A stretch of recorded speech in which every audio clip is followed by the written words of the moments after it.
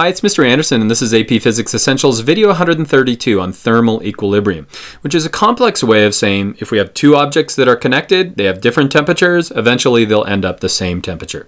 And two things in my computer right now that are generating heat are the graphics processor and the CPU.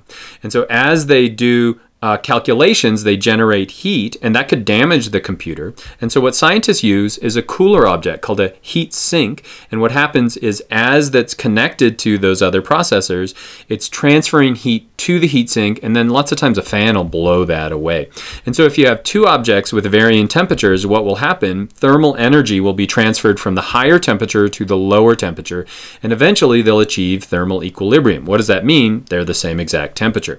And so, the amount of thermal energy that's transferred from the hotter to the colder object is related to the mass of the object and also the temperature.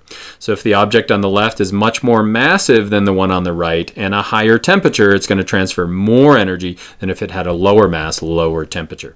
And this is all based on conservation of momentum. So the molecules on the left side, when it was warmer, are moving faster. As they collide with those on the right side, they're transferring that momentum to the right side.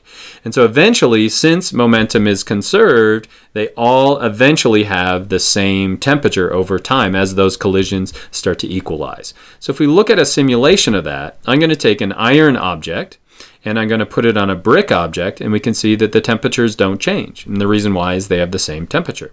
Now let me heat up the iron. So I'm giving it a higher amount of kinetic energy. The molecules are moving around. We can measure that by using a thermometer. Now what happens as I put it on the brick? You can see it's lowering the temperature, but where is that energy going? It's going to the brick itself. What happens after time? Eventually, we've done it right now, we've achieved thermal equilibrium. They're going to be the same temperature.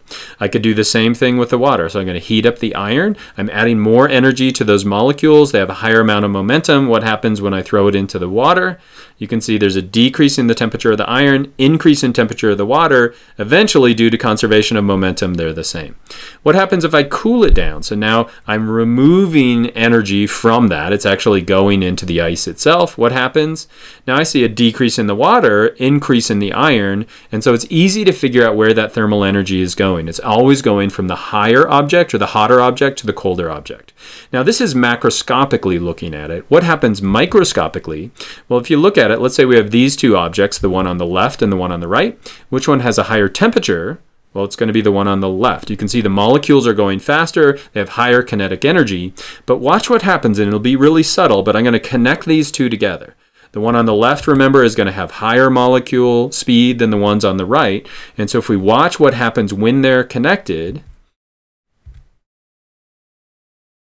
you can see they're colliding along that margin. And as they're colliding along the margin, they're transferring some of that momentum. What happens eventually, they end up at the same molecular motion or the same temperature.